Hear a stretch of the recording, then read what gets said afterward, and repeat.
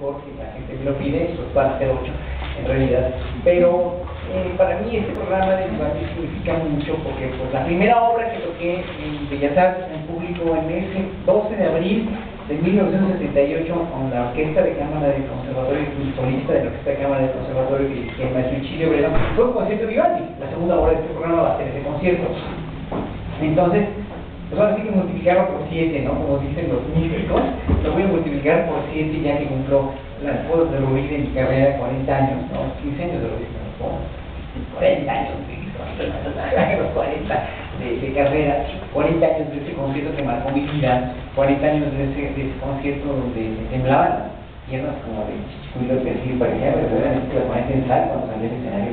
Pero obviamente pues, ese concierto me forjó mucho para darme cuenta que que pues esto era lo que quería, esto era lo que esto era mi vida.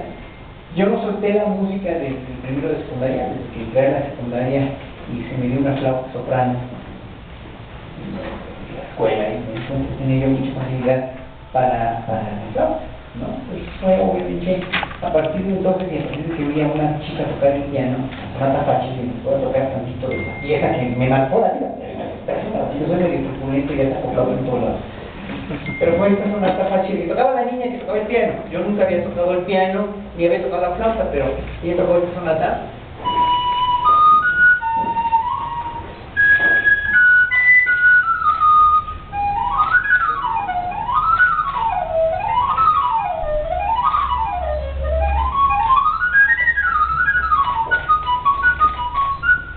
Órale, venga. Y esa sonata por primera vez en la vida esa fue la gran infatuación, la gran epifanía, la gran revelación, maestro.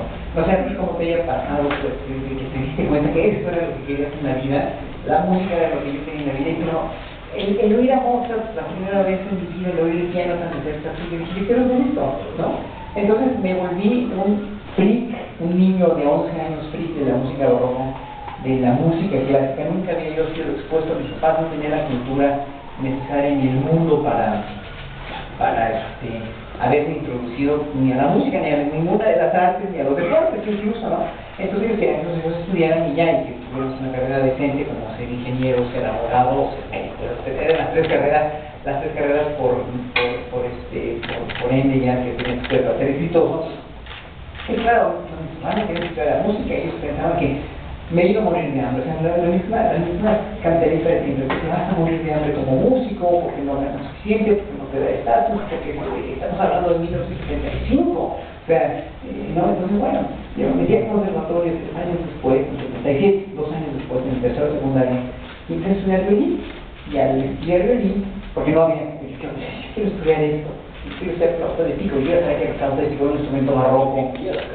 No, no, no, nadie, no había nadie, era un instrumento que introducido en México por el gran actor Luis Jimeno, que estaba trabajando en la SED, y les, le confiaron el modelo a, a, muchos países que ya habían este, sacado la flauta de pico como instrumento escolar. Quien puso la flauta de pico como instrumento escolar fue Hitler mismo, Hitler, Adolf Hitler, porque había muchos aficionados que tocaban la flauta de pico, que estaban en esa época en Alemania y en Inglaterra había una, un revival, una resucitación, rescate, en español, de la música barroca. Entonces, este instrumento se volvió muy popular, como lo era también en el barroco y en el renacimiento, y había muchos aficionados que tocaban, y aquí se le ocurrió que puede ser fácil introducirlo como instrumento escolar. Entonces, claro, en Alemania nazi funcionó muy bien, ¿verdad? Obviamente funcionó perfecto porque la colectividad, los maestros, los planes de estudio en la Alemania nazi pues obviamente súper, súper este, estrictos, que puedo de la colectividad alemana, pues, ¿no? Pero claro, cuando se introduce a México, pues, obviamente